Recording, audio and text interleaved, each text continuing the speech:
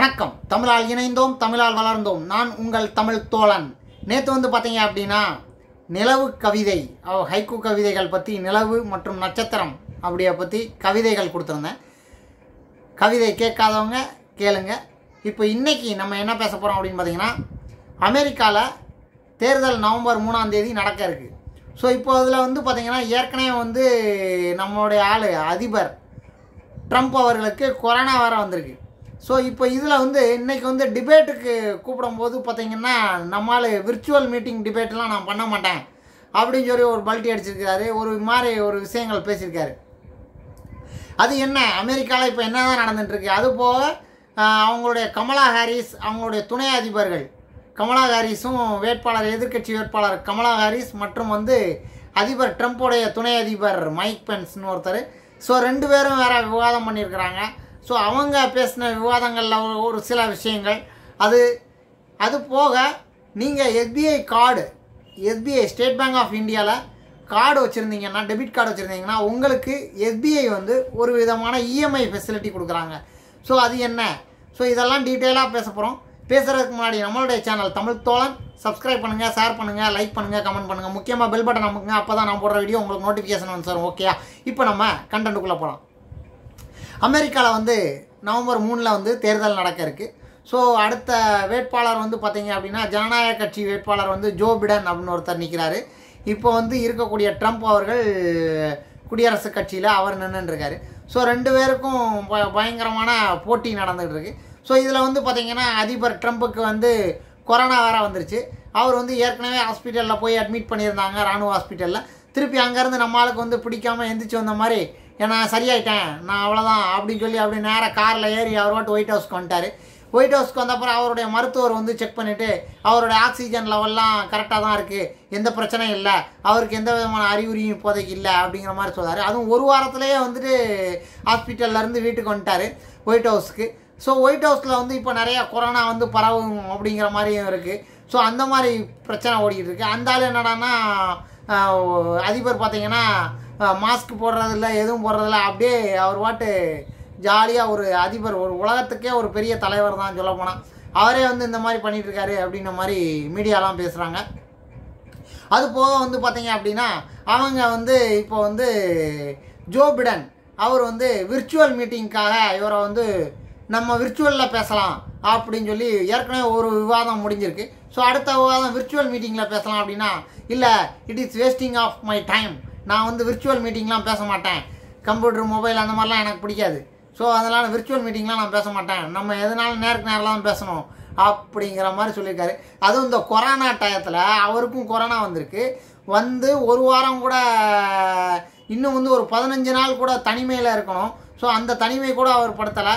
ஒரு வாரத்திலே வந்து இந்த மாதிரி சொல்லிட்டு நான் வந்து விர்ச்சுவல் மீட்டிங்லாம் பண்ண மாட்டேன். நான் நேரடியாக தான் மோதுவேன் அப்படிங்கிற மாதிரி பேசினா அது எப்படின்னு பாருங்கள் ஒரு அதிபர் அந்த அளவுக்கு பேசியிருக்கிறார். ஸோ இது ஒரு தகவல். அது போக அவர் வந்து சொல்லும்போது பார்த்தீங்கன்னா ட்ரம்ப்பு நான் வந்து ரி ரிஜனரான் அப்படின்னு ஒரு நிறுவனம். அந்த நிறுவனம் தான் வந்து எனக்கு வந்து மருந்து கொடுத்துருக்கு. ஸோ இது வந்து கடவுளால் கிடைத்த ஆசீர்வாதம். இந்த மருந்து வந்து பார்த்தீங்க அப்படின்னா ஒரு மாறுவிடத்தில் கடவுள் வந்து கொடுத்த எனக்கு ஆசீர்வாதம். அப்படின்னு சொல்லி நான் இந்த மருந்து குறித்து கேள்விப்பட்டேன். அந்த மருந்தை நான் எனக்கு போட்டதுனால இப்போ வந்து நான் நல்லா இருக்கேன்.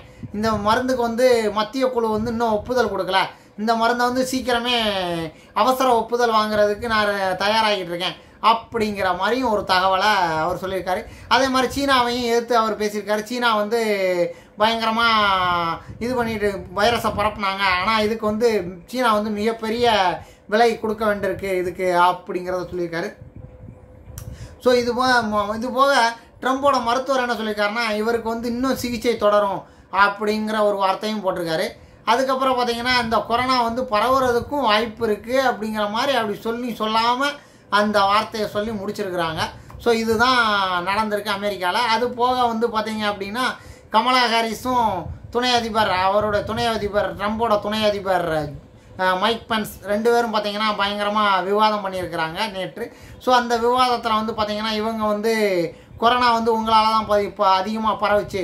ஸோ இதை வந்து நீங்கள் கட்டுப்படுத்தலை அப்படின்னு சொன்னது. அவர் வந்து எதிர்கட்சி எதிர்க்கட்சி அந்த துணை அதிபரும் வந்து சா சா சாதகமாக அதை வந்து சமாளிச்சிருக்கிறார். இல்லை நாங்கள் வந்து எல்லாமே எடுத்திருக்கோம்.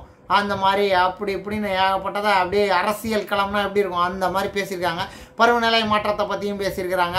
ஸோ இது எல்லாமே அவங்க பேசி அப்படியே சமாளிச்சுட்டு போயிருக்கிறாங்க ரெண்டு பேரும். இதில் வந்து வெற்றியா தோல்வியா அப்படிங்கிறது தெரியல. ஸோ பொறுத்திருந்து தான் பார்க்கணும். நவம்பர் மூணில் தேர்தல் நடக்கு.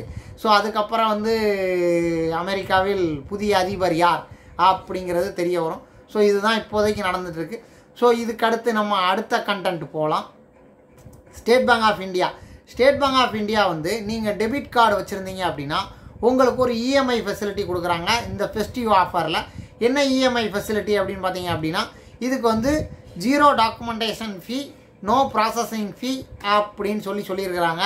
செலக்டட் பிராண்ட்ஸ் ஏதாவது நீங்கள் ஆன்லைனில் பர்ச்சேஸ் பண்ணணும்னா பண்ணிக்கலாம். அதே மாதிரி ஷாப்பிங் பண்ணணும்னா பண்ணிக்கலாம் இந்த கார்டை வச்சு அப்படின்னு இருக்காங்க. இதுக்கு வந்து என்ன அப்படின்னு பார்த்தீங்கன்னா ஹோம் அப்ளையன்ஸு இதெல்லாமே நீங்கள் வாங்கிக்கலாம் அப்படின்னு இருக்காங்க. இதுக்கு வந்து என்ன இருக்கணும்? முதல்ல என்ன எலிஜிபிள் அப்படின்னா நீங்கள் வந்து ஒரு clean financial and credit summary மாதிரி எல்லாமே வந்து எந்த விதமான கடன் அந்த இதெல்லாம் வந்து கரெக்டாக மெயின்டைன் பண்ணி அந்த டிரான்சாக்ஷன்லாம் கரெக்டாக நீங்கள் மெயின்டைன் பண்ணிக்கிட்டு இருந்தீங்க அப்படின்னா உங்களுக்கு இந்த க இஎம்ஐ ஃபெசிலிட்டி தரப்படும் அப்படின்னு சொல்லியிருக்காங்க. அதுவும் வந்து நீங்கள் வந்து டைரெக்டாக பேங்க்கோட பிரான்ச்சுக்கு போகணுன்னு அவசியமே கிடையாது. அதே மாதிரி ஒரு எஸ்எம்எஸ்ஸோ இல்லைனா இமெயில் அனுப்பிச்சா போதும் அப்படின்ட்டுருக்காங்க இந்த எஸ்எம்எஸ் நீங்கள் எலிஜிபிளா அப்படின்னு பார்க்குறதுக்கு ஒரு எஸ்எம்எஸ் சொல்லியிருக்காங்க. D C E M I அப்படின்னு டைப் பண்ணி five six seven six seven six அப்படிங்கிற அந்த நம்பருக்கு நீங்கள் அனுப்பிச்சிங்கன்னா நீங்கள் எலிஜிபிளா அப்படிங்கிறது உங்களுக்கு தெரியுன்ருக்கிறாங்க இன்ஸ்டண்ட்டாக அந்த அமௌண்ட்டை வந்து உங்களுக்கு நாங்கள் கொடுப்போம் அப்படின்ட்டுருக்குறாங்க அதே மாதிரி இதுக்கு வந்து ஜீரோ காஸ்ட் இஎம்ஐ எந்த விதமான சார்ஜும் கிடையாது. செலக்டட் பிராண்ட்ஸ் அப்படின்னு சொல்லியிருக்காங்க. அதுதான் பார்த்துக்கோங்க நீங்கள் வந்து முக்கியமாக டேர்ம்ஸ் அண்ட் கண்டிஷனில் வந்து zero cost EMI on selected brands அப்படின்னு இருக்கிறாங்க ஸோ இதுதான் முக்கியம். இப்போ இன்றைக்கி நீங்கள் பர்ச்சேஸ் பண்ணீங்க அப்படின்னா ஆஃப்டர் ஒன் மந்த்துக்கு அப்புறம் அடுத்த மாதத்துல இருந்து தான் இஎம்ஐ ஸ்டார்ட் ஆகும். ஸோ அந்த இஎம்ஐ அதுக்கப்புறம் பே பண்ணணும். ஸோ இதில் வந்து பார்த்தீங்கன்னா ஃப்ளிப்கார்ட்டு அமேசான் இதில் வந்து நீங்கள் பர்ச்சேஸும் பண்ணலாம் அப்படிங்கிற மாதிரி அதுலேயும் உங்களுக்கு வந்து ஃபெசிலிட்டி கிடைக்கும் அப்படிங்கிற மாதிரி ஸ்டேட் பேங்க்லேருந்து அனௌன்ஸ்மெண்ட் பண்ணியிருக்கிறாங்க ஸோ இதுதான் ஒரு தகவல்.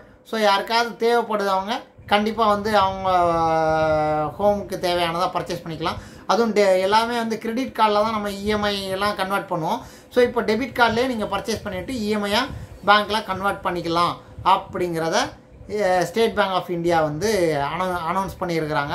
இந்த கோவிட் நைன்டீன் பீரியட் அது போக வந்து இப்போ அடுத்து இந்த ஃபெஸ்டிவ் சீசன் வருது. சரஸ்வதி பூஜை தீபாவளி இதெல்லாம் வருது. ஸோ அதனால் இந்த ஃபெசிலிட்டியை கொடுத்துருக்காங்க. ஸோ இதுதான் இன்றைக்கி நான் கொண்டாந்து கொடுக்கணும்னு நினச்சேன். கொடுத்துருக்கேன்.